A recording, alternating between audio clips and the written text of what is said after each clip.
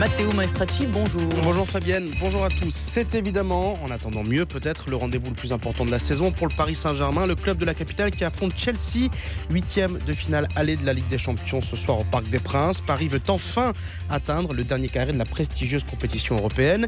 Michel Platini à la FIFA, mais ce n'est pas ce que vous croyez, il, était, il y était pour plaider sa cause une nouvelle fois. Et puis belle journée hier pour la skieuse française Nastasia Noens en Coupe du Monde de slalom.